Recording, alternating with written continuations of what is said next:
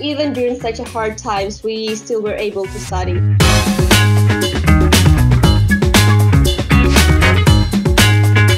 What do you think about online teaching at Collegium Civitas? There was no delay at all. It is very great because our exams are in time. We don't have to study during the summer break. It's a, it's a great new uh, experience that at some point uh, expands our capability as a student as well. I think it's great that a lot of courses were adapted well to the options that were given to us. I'm speaking about like Teams or Moodle. It's definitely something new and unexpected, but I think it turned out great. International. Opportunities. Multicultural communication. Tolerance. Engaged.